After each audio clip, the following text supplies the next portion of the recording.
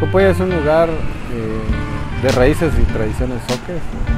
Seguimos conservando nuestras tradiciones soques.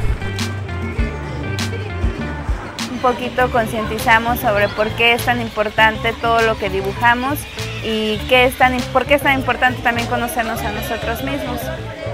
Copoya le ha caído bien este, este proyecto porque eh, pues es realzar más, más la cultura. Pero fue una experiencia muy linda porque platiqué con ellos que lo que hace falta para muchas personas es conocer sus raíces ¿no? y conocer su cultura y también hacer esa conexión. Es un pueblo soque que está perdiendo sus costumbres, sus tradiciones, sus oficios. Pues esta labor y esta posibilidad de hablar de la raíz que nosotros pues estamos viendo ahora, ¿no? Le estaba platicando al señor Candelario que qué padre que, que él me está ayudando. Está siendo muy amena la convivencia y está muy bueno conocer. Es muy amigable.